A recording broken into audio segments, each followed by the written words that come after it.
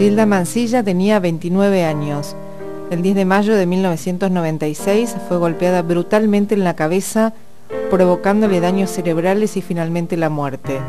El caso estuvo impune hasta el año 2000. Los magistrados consideraron que Juan de Dios Ramírez fue la persona que mató a su pareja y lo condenaron a nueve años de prisión. Ramírez cumplió condena y hoy se encuentra en libertad. Verónica Vázquez tenía 22 años.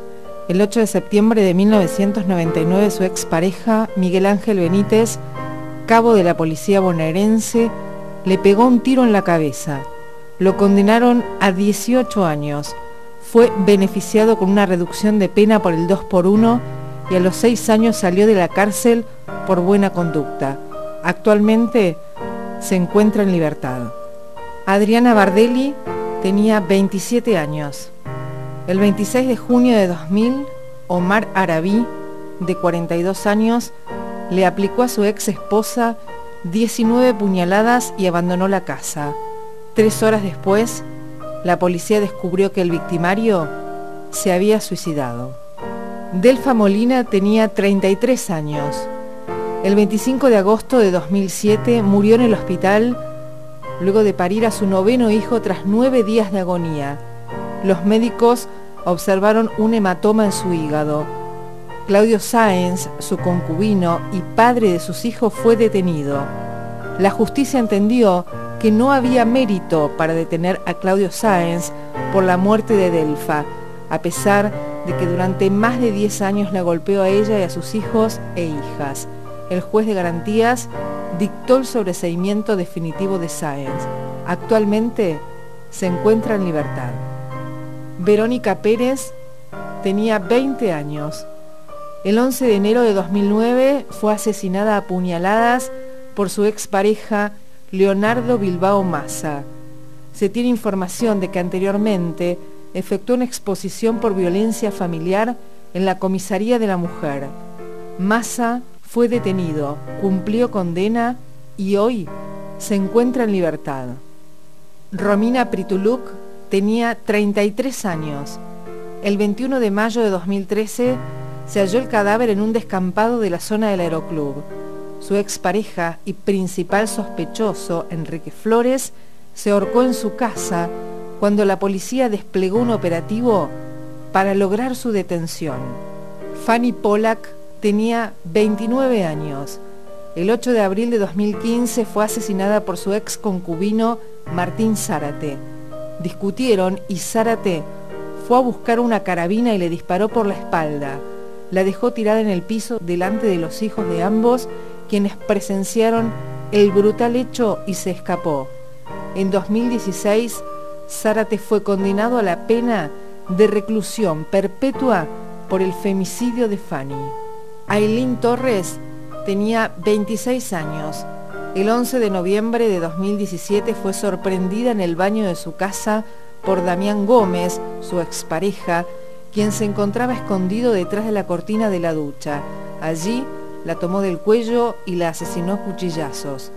Gómez se encuentra detenido.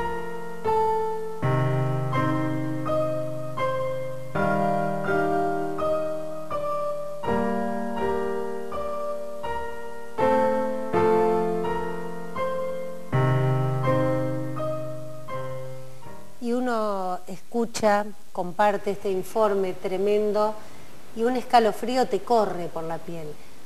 No sé qué sentirán hermanas de dos de estas víctimas que estábamos aquí. Le damos la bienvenida a Andrea Rossetti. Eh, estamos con Andrea Pérez, Mava Vázquez. ¿Qué sienten? Yo las, miraba cuando iban relatando el caso de ustedes. Eh, el asesino de tu hermana estuvo, ¿cuánto en prisión? Seis años. ¿Y ahora dónde está?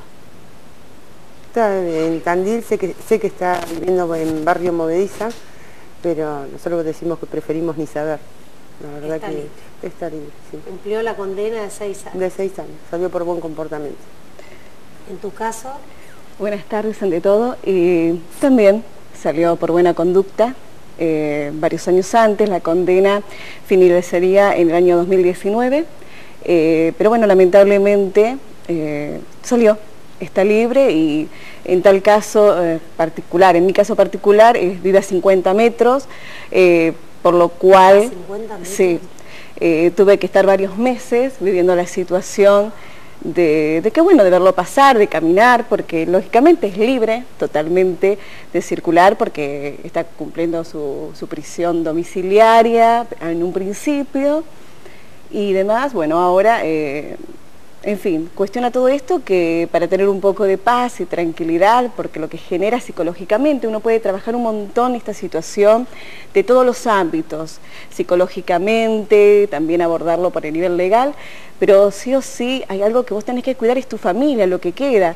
Son mis hijos, adolescentes, ellos iban a la escuela, mis padres, era muy duro para ellos venir y por ahí encontrarse que esta persona pasaba por, por delante de mi casa generó, bueno, eh, todo aquello que casi pocas veces se puede soportar, por lo cual decidí vender mi casa, ¿no? Con todo lo que significa, 18 años en lugar. tuviste que vender Yo tuve que vender mi casa, 18 años en la misma vivienda, eh, y dijimos, bueno, vale más la, la, tranquilidad, porque lo consulté con abogados, defensoría, me dijeron, mira, no, no queda otra, porque en el caso de que...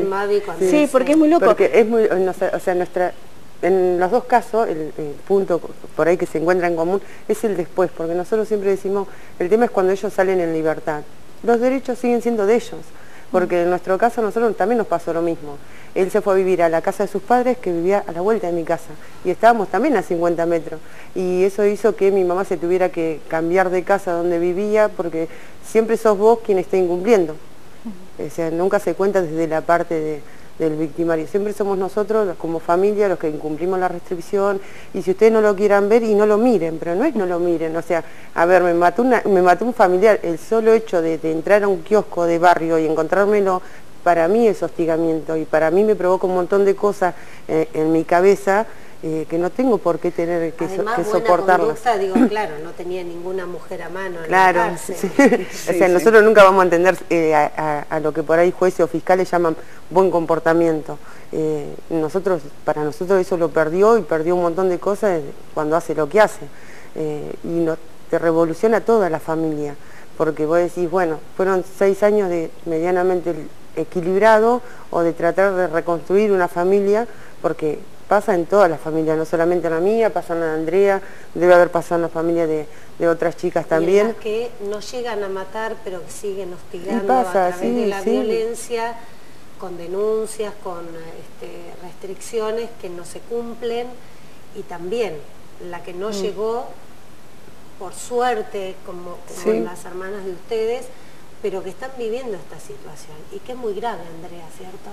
Sí, aparte, bueno, compartíamos ayer con, ambas una, jornada de, si se quiere, mucha como reflexión con respecto a estas situaciones, ¿no? Y uno no puede más que seguir escuchando los testimonios en primera persona. Bueno, también estuvo la mamá de, Wanda Tadei y, todo lo que pasa en una familia, que ayer comentaba Maba, ¿no? Este, mm. dijo algo ayer que, que a mí me quedó como rebotando en la cabeza, eh, se piensa que cuando pasa algo así, este, la familia se une y en realidad a la familia le pasan muchas cosas. Este, y, además no es que pasan y culminan, sino que eh, permanecen y no se resuelven. Y, hemos tenido, digamos, como hemos con Andrea hemos compartido mucho de, esto que ella dice, de lo que le pasaba esto eh, con, con la casa, ¿no? Porque es injusto que sin llegar a, estos extremos de, femicidios, igual las mujeres refieren, nosotras trabajamos todos los días con Mama y las mujeres te refieren eso, la injusticia de, estas medidas que, no alcanzan y, esto que te atraviesa, porque te atraviesa desde la cabeza, decíamos recién, también el alma, ¿no? Porque es como esto que que persiste en lo cotidiano, ¿no? Que me parece que es un, buen ejercicio cuando decimos esto de ponernos en, el lugar del otro realmente, ¿no? Este, imaginar la vida así, con, este peso extra, me parece que, está bueno para dimensionar. algo que veíamos en el informe con respecto a las condenas, que mm. si bien no te devuelve, pero es un poco de, paz, y, de tranquilidad, supongo, que se haga justicia. Eh, veíamos el antes y el después de la ley de femicidio, digo, de, la incorporación del femicidio como carátula, este, cómo amplían las condenas, si bien la cadena perpetua no es perpetua, porque siempre están estos aditamentos que salen por buena conducta, buen comportamiento, este, pero cómo eso ayuda un poco más. Son unos años que al menos, eh, imaginémonos esta situación y seis años es muy difícil poder eh, resolverlo psicológicamente, emocionalmente, porque en mi caso, como en el caso de Mava, quedan hijos, de, este matrimonio, de estas parejas, y seis años no son nada, sinceramente, no alcanza la vida, ¿no? Pero a esto de que son tan poquitos los que uno siente que hay justicia, después de ahí en más lamentablemente ya uno siente que algo se rompió. Pero más allá de todo esto, si hay algo que creo que, nos une con Mava y Andrea con su trabajo, es, saber que lo único que uno no puede tener en esta situación es ese odio. Uno tiene que trabajarlo, trabajarlo mucho. Y se puede, sé que, claro se, puede, trabajar. Recién hablábamos antes de entrar y le digo, chicas, la fortaleza, la alegría por seguir viviendo, por luchar por esos hijos y en memoria de, estas víctimas, es lo que le da la fuerza del motor. Ayer, no tenemos más tiempo para ir cerrando, ayer este, estos bancos rojos que significan, este, bueno, la vida, el seguir, ¿qué, le han puesto todo, a ustedes? todo. Eh, bueno, como, como, hemos explicado muchas veces cuando arrancamos la campaña con Andrea, eh, la idea del Banco Rojo era en sí eh, que fuera en la plaza principal eh, y hacerlo como en memoria de todas las chicas, ¿no? y, este llamado de atención para poder trabajar la prevención y lo que era la concientización de lo que es esta problemática. Nosotras decidimos llevarlo un poquito más allá y hacer lo que es un recordatorio para las víctimas de femicidio. Chicas, yo les agradezco porque el testimonio de ustedes tiene mucho, mucho valor eh, mil disculpas, no hay más tiempo, pero vamos a seguir tratando este tema porque de eso se trata, de seguir visibilizando, de seguir peleando por los derechos, sobre todo por los derechos de las víctimas y de toda la familia que queda, que lo escuchamos en primera persona. Muchas gracias. Muchas gracias. gracias. Eh, un tema, ¿eh? un tema para seguir debatiendo y tratando. Hacemos la pausa.